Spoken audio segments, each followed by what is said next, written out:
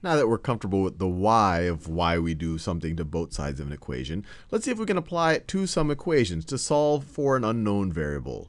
So let's say that you have x plus 7 is equal to 10, and I want to solve for x. All it's saying is something plus 7 is equal to 10. And you might be able to figure out in your head, but if you want to do it a little bit more systematically, you're like, well, I just all I want on the left-hand side is an x.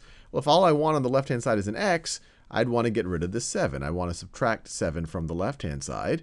But if I want to maintain an equality here, whatever I do to the left-hand side, I also have to do to the right-hand side. Going back to our scales, that's so that we can keep our scale balanced. So we can say that the left is still equal to the right. And so what we're going to be left with is x x, and then the 7's cancel out, is equal to 10 minus 7 is equal to 3. So that unknown is 3. And you can verify it. 3 plus 7 is indeed equal to 10. Let's try one more.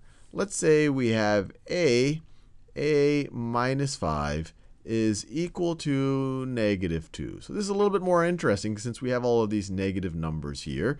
But we can use the exact same logic. We just want an a over here on the left-hand side. So we have to get rid of this negative 5 somehow. Well, the best way of getting rid of a negative 5 is to add 5 to it. So I'll do that. So I will add 5 to the left-hand side. But if I want the left-hand side to stay equal to the right-hand side, whatever I do to the left, I have to do to the right. So I'm going to have to add 5 on the right-hand side as well. And so on the left-hand side, I'm left with a, a, and then the negative 5 and the positive 5 cancel out. And on the right-hand side, and they're going to stay equal because I did the same thing to both sides, we have negative 2 plus 5, which is equal to 3. So a is equal to 3.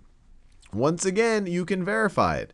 3 minus 5 is indeed equal to negative 2.